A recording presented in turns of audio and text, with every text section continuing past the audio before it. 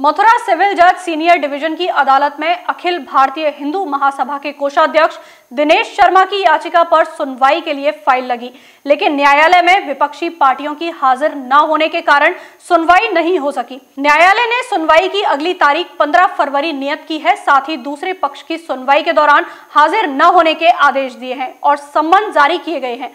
आपको बता दें कि श्री कृष्ण जन्मभूमि की तेरह एकड़ भूमि को अतिक्रमण मुक्त कराने को लेकर दिनेश शर्मा की ओर से सिविल जज सीनियर डिवीज़न की अदालत में याचिका दायर की गई है, जिस पर न्यायालय सभी पक्षों के जवाब सुन रहा है। हिंदू महासभा के कोषाध्यक्ष दिनेश कौशिक की ओर से जो दावा दायर किया गया था, इस ईदगाह उस कॉम्प्रोमाइज़ को निष्काने के संबंध में आज उस मुकदमे में सिविल जज सीनियर डिवीज़न मथुरा के यहाँ प्रस्तुति हुई। वो उस मुकदमे पर सुनवाई हुई, उस मुकदमे में विपक्षीगण हाजिर नहीं हो पाए। अब अदालत ने दोबारा उनके समन जारी कराने के लिए और हमको पैरवी करने के लिए आदेश पारित किए हैं और अब इस मुकदमे में पंद्रह दो दो हज़ार बाईस सुनवाई के लिए कर दी गई है। अब इस मुकदमे की सुनवाई पंद्रह दो दो हज़ार बाईस को न्यायालय सिविल सीनियर मथुरा में के न्यायालय में होगी।